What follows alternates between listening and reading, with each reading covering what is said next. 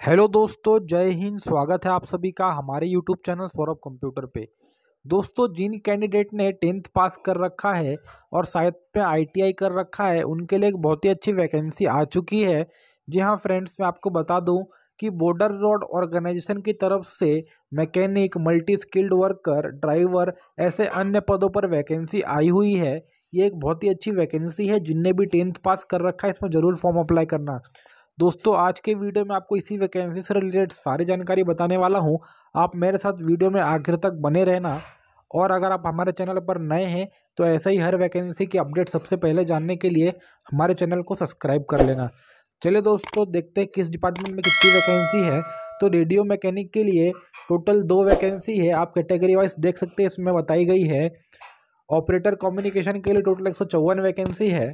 Driver mechanical transport के लिए total vacancy आपकी करंट के लिए सात और बैकलॉग के लिए दो। टोटल आपकी नौ वैकेंसी है। व्हीकल मैकेनिक में करंट के लिए दो सौ पैंतीस, बैकलॉग के लिए एक वैकेंसी। टोटल आपकी दो सौ छत्तीस वैकेंसी है। मल्टी स्किल्ड वर्कर ड्रिलर की बात करें तो इसमें आपकी ग्यारह वैकेंसी है। मल्टी स्किल्ड वर्कर मैसोन की बात करें तो करंट में एक सौ तीस और बैकलॉग में उन्नीस वैकेंसी। टोटल आपकी एक सौ उनपचास वैकेंसी है। मल्टी स्किल्ड वर्कर पेंटर की बात करें तो आपकी पाँच वैकेंसी है। Multi skilled worker mess waiter की बात करें तो आपकी एक वैकेंसी है। टोटल वैकेंसी की बात करें तो आपकी पाँच सौ सड़सठ वैकेंसी आपकी टोटल है। मतलब पाँच सौ पदों के लिए आपकी वैकेंसी आई हुई है। बात करेंगे इंपॉर्टेंट डेट्स के बारे में तो आपके ऑनलाइन फॉर्म दो तारीख से चालू हो चुके हैं, जनवरी में, जिसकी लास्ट डेट रहने वाली है पंद्रह फरवरी। मतलब आप दो जनवरी से लेकर पंद्रह फरवरी तक इसमें फॉर्म अप्लाई कर सकते हैं। अब हम बात करेंगे इसके फ़ीस के बारे में। फ़ीस कितनी लग रही है? तो जनरल ई डब्ल्यू एस और ओ बी सी वालों के लिए पचास रुपये फ़ीस लग रही है और एस सी और डिसेबिलिटी जिन, जो भी एस सी वाले हैं, उनके लिए कोई भी फ़ीस नहीं लग रही है और पर्सन विद डिसेबिलिटी उनके लिए भी कोई भी फ़ीस इसमें नहीं लग रही है। आगे बढ़ेंगे, अब हम बात करेंगे इसके एज के बारे में एज क्राइटेरिया के बारे में। इसमें आपकी एज क्या मांगी गई है? तो इसमें आपकी जो मिनिमम एज आपकी अठारह साल मांगी गई है, कम से कम आपकी एज अठारह साल होनी चाहिए। मैक्सिमम एज की बात करें, अगर आप मल्टी स्किल्ड वर्कर के पोस्ट के लिए अप्लाई कर रहे हैं तो आपकी जो मैक्सिमम एज पच्चीस साल मांगी गई है।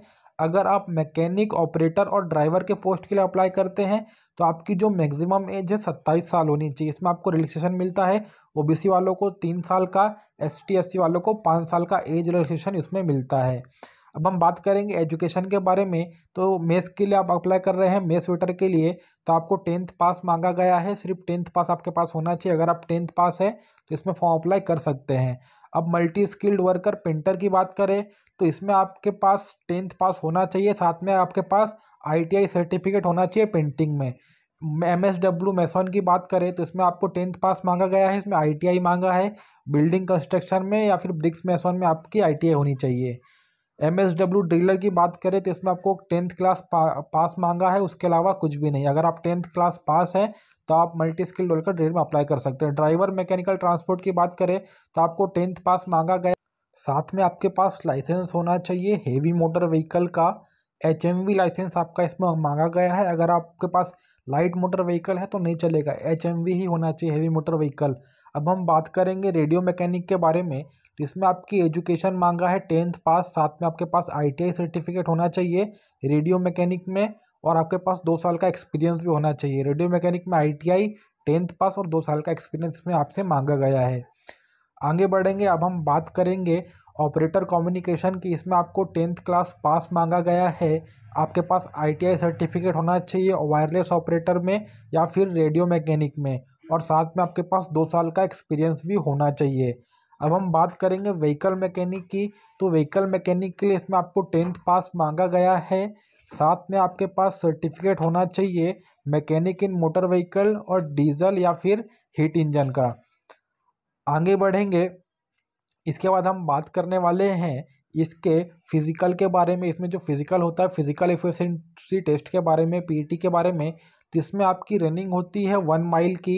आपको दस मिनट में पूरा करना रहता है one mile running one mile running आप दस मिनट में आसानी से पूरी कर सकते हैं। अब हम बात करेंगे इसमें फ़िज़िकल स्टैंडर्ड टेस्ट के बारे में, जिसमें आपकी चेस्ट हाइट हाइट और वेट आता है। तो दोस्तों वेस्टर्न हिमालय रीजन वालों के लिए हाइट मांगी गई है एक सौ अट्ठावन सेंटीमीटर और चेस्ट मांगा है बिना फुलाए पचहत्तर और फुलाने के बाद अस्सी सेंटीमीटर और वेट मांगा है सैंतालीस पॉइंट फाइव के जी बात करेंगे ईस्टर्न हिमालय रीजन वालों के लिए तो इनके लिए हाइट मांगी गई एक सौ बावन सेंटीमीटर चेस्ट मांगा है, बिना फुलाए पचहत्तर, फुलाने के बाद अस्सी सेंटीमीटर और वेट मांगा है, सैंतालीस पॉइंट फाइव के जी वेस्टर्न प्लेन रीजन वालों के लिए हाइट मांगी एक सौ बासठ point five centimetre, chest minimum छिहत्तर सेंटीमीटर, फुलाने के बाद इक्यासी सेंटीमीटर और वेट मांगा है, मिनिमम आपका वेट होना चाहिए पचास के जी इसमें। इसके बाद आगे बढ़ेंगे बात करेंगे वेस्टर्न, ईस्टर्न प्लेन रीजन वालों के लिए तो ईस्टर्न प्लेन वालों के लिए हाइट मांगी गई है एक सौ सत्तावन सेंटीमीटर, मिनिमम उनका चेस्ट मांगा है पचहत्तर और फुलाने के बाद पिचासी अस्सी सेंटीमीटर और वेट मांगा है पचास के जी सेंट्रल रीजन वालों के लिए हाइट उतनी ही one fifty seven centimetre, chest minimum पिचहत्तर, फुलाने के बाद अस्सी सेंटीमीटर, वेट पचास के जी साउथर्न रीजन वालों के लिए इसमें आपको हाइट मांगा है one fifty five, fifty seven centimetre और chest minimum seventy five centimetre, फुलाने के बाद अस्सी सेंटीमीटर और आपका जो वेट है फिफ्टी के जी मांगा है इसमें।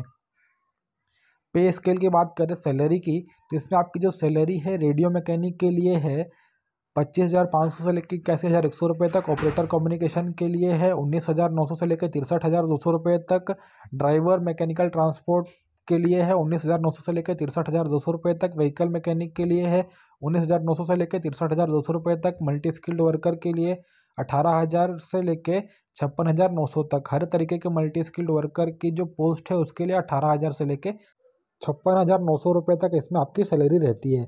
बात करेंगे इसके सिलेक्शन प्रोसेस के बारे में। तो सबसे पहले आपका होगा रिटर्न एग्ज़ाम उसके बाद आपका फ़िज़िकल होगा। फ़िज़िकल के बाद आपका इसमें ट्रेड टेस्ट भी होता है। ट्रेड टेस्ट में आप जिस भी पोस्ट के लिए अप्लाई कर रहे हैं तो उससे रिलेटेड आपको काम आने चाहिए। उसके बाद आपका होगा मेडिकल मेडिकल के बाद आपका फाइनल सिलेक्शन हो जाएगा दोस्तों।